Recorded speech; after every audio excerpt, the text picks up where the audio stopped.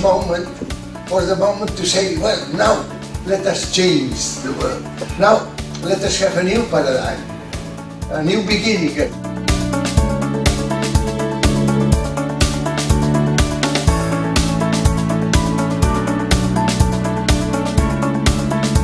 are born you will die and this will change the equation to early childhood education.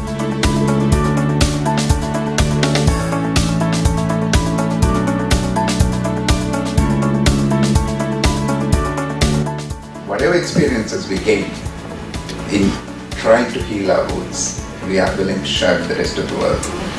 Thank you.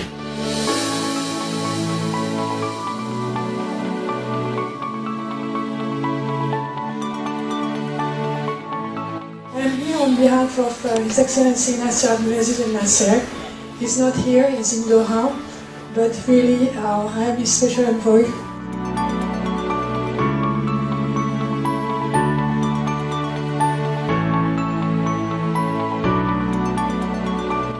When I meet children, they usually define their life by one single word, and the word is fear.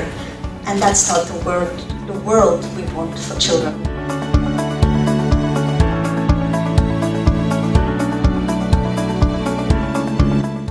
And it was a UNICEF person who said to me in northern Uganda, pay attention to these kids.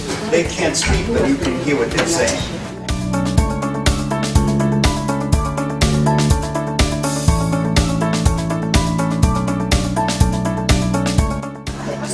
Would like to have more women at the table of negotiation.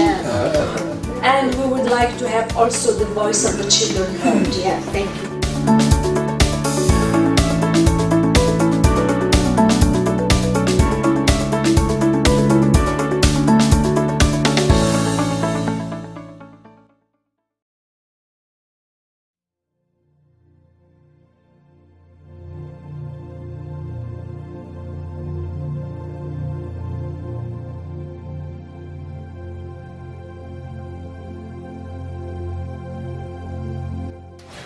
Want to join forces with the international community to advance global and national efforts to prevent violence, laying the foundation of a sustained peace through the transformative power of early childhood development.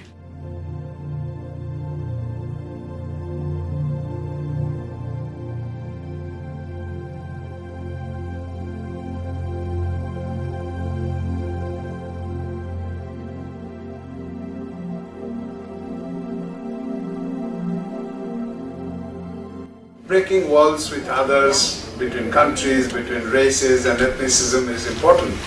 But at the same time, breaking walls within ourselves is much more important. Breaking walls of prejudice, breaking walls of discrimination, breaking walls of hatred, breaking uh, walls of um, uh, uh, tolerance, uh, breaking, uh, well, lack of tolerance, breaking walls for respecting diversity is, is all, all these are important. So personal transformation, self-transformation is very essential.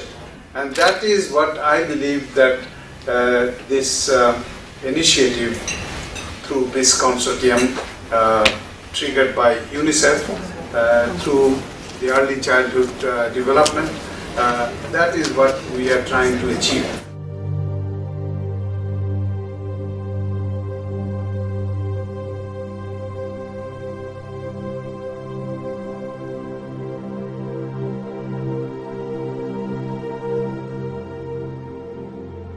What, what I try to describe a little bit is a mix. ECD and peace building in a sense that the young child becomes a priority as object of kind of services, receiving the right services, but at the same time also as a subject of rights where investing into young children means really strengthening their rights, strengthening their capacity then to grow up well, to have hope in societies, and that again also at the long term in those difficult conflict and peace situations, their rights are also restored and taken into account.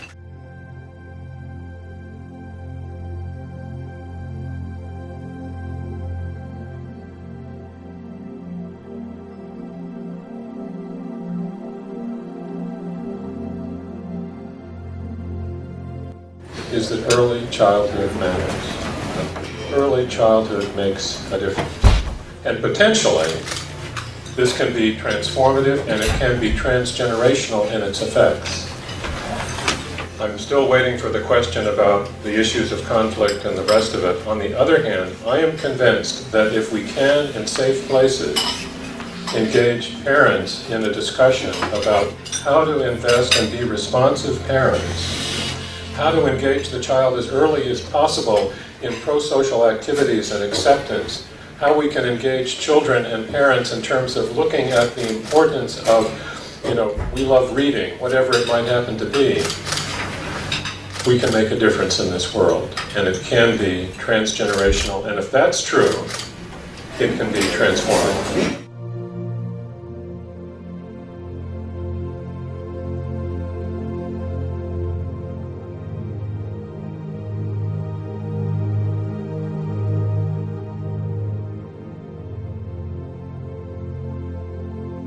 History says, don't hope on this side of the grave.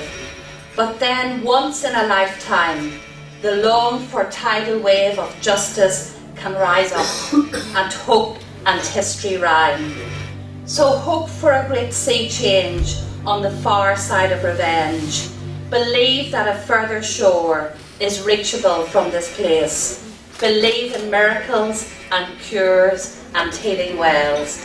And we believe in Northern Ireland that we can hold that hope uh, that for this generation of children and their parents and grandparents, the future will be a hopeful future.